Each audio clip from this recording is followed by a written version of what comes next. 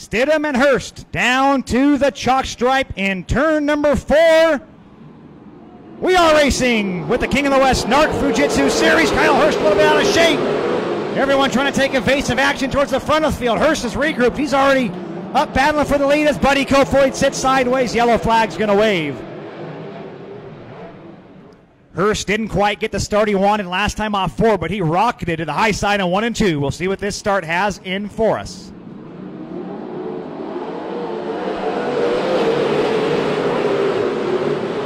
And a one and two. Hirst once again rocketing up to the high side, trying to come after Craig Stidham. Stidham leads the field down the backstretch.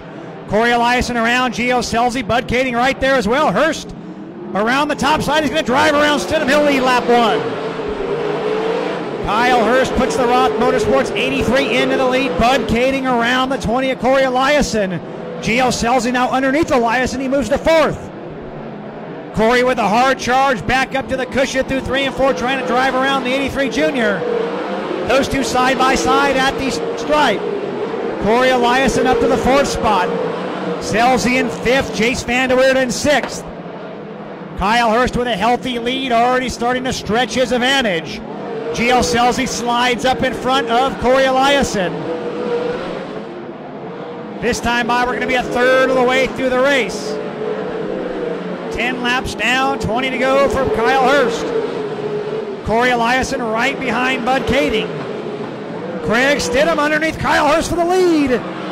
Move the number three up to P1. Hirst now back to second.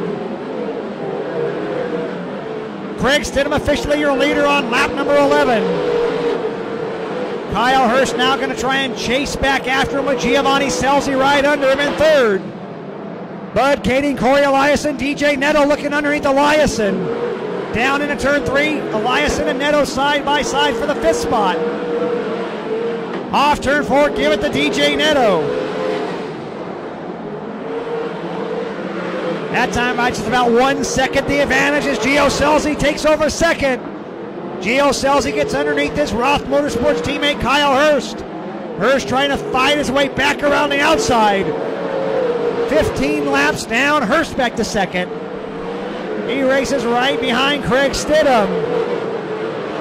This time by 18 laps down, Stidham crossing over with the lap car. Sean Watts right there. They race down into one and two. Kyle Hirst with a big run for the lead into turn three. Kyle Hirst into a lap car. Hirst able to continue on. Craig Stidham right there. What a battle at the front of the field. Kyle Hirst back into the lead. Craig Stidham second. Giovanni Scelzi third. Give it to Bud Kaeding. Up front, however, it's all about Kyle Hirst who rides through three and four. He's going to get his second King of the West Narc Fujitsu win of the year. Give it to Kyle Hirst. Second's going to go to Cory Elias, Eliason. Third to Giovanni Scelzi.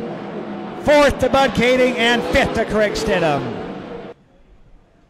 There he is, race fan. He's on the cage. Kyle Hirst gets it done. Round number 11 for the King of the West Narc Fujitsu Racing Series. Uh, I want to ask you about that bold move you made for the lead. Uh, you basically moved uh, Sean Watts out of the way and, and used him, you know, to get to the top of the race.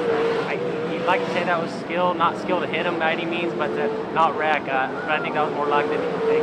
I just got to run off there off the two, and I diamonded it, got it by Craig, and then I wasn't sure where he was going, so I just went for it, and we ended up making contact. But uh, sorry if I made any contact or trouble for him, but uh, just go racing for a lead, and that's part of it. So um, just happy to get the win for my guys, and um, see if we can get a couple more this weekend before the weekend's over. And happy Fourth to everybody.